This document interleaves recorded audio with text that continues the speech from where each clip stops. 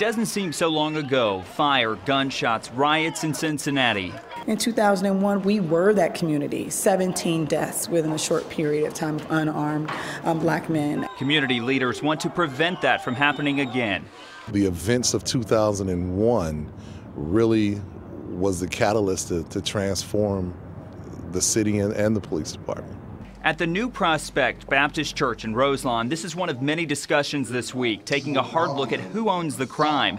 The community fuels discussions about issues the city faces even after the collaborative agreement.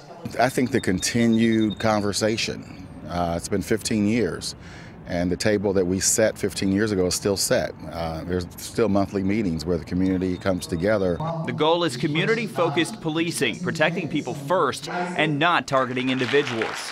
And it's a very small number of people that commit a large number of the crimes. The agreement and the model are tools other cities have tried to emulate. Community leaders say, though, there's still plenty of work to be done. It can go from my relationship with police is, is good, or it can go from I've had a very terrible relationship with police and things went bad. People here hope to see more problem solving and partnerships, and they say transparency is key, all parts of a roadmap to getting better.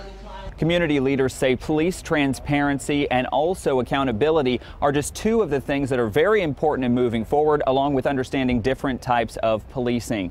In Roselawn, Dan Griffin, WLWT News 5.